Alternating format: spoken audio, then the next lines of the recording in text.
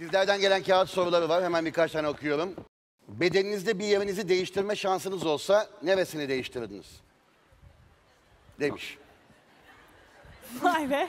Çok zor bir soru. Zor bir soru değil. İnsan kendi bedenini bilir.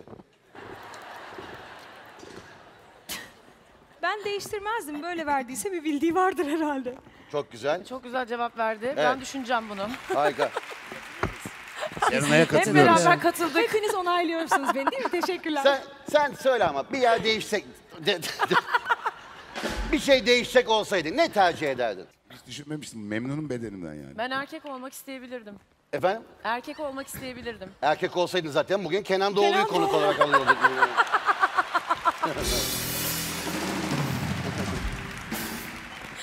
Evlilik teklifi yapmak isteyen bir arkadaşımız varmış. Varsa gelsin yapsın şu kenarda gitsin.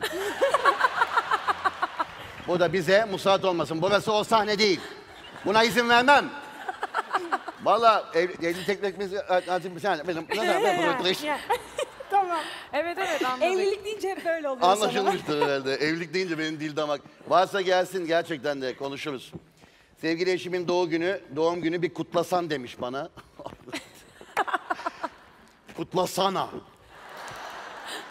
Kutlu olsun inşallah. Evet.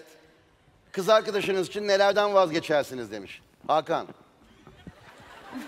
Kardeşim sen genel temizlik yapmaya mı geldin buraya? Ben ne zaman dönsem sana ya buralardasın ya buraya. Ya, ya tavana bakıyorsun. Ya tavana bakıyorsun. O mikrofonu bir tutsana hep burada. Ya ben e, şunu açıklayayım da önce. E, ben beyin ameliyatım olduğu için şu kulaklardan kullanamıyorum.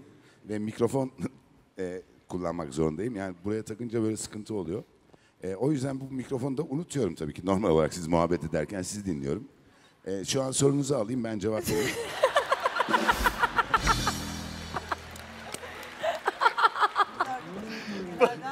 Kız arkadaşım için hayatımdan vazgeçerim arkadaşlar. Bu kadar basit yani.